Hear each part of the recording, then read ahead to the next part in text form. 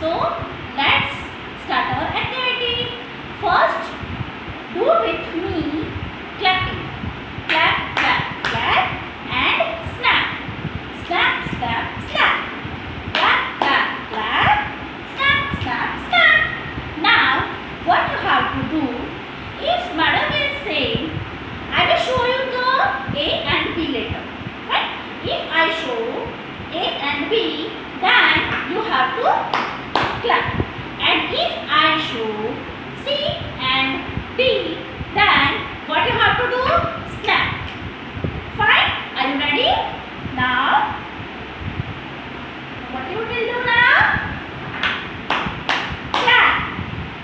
is this?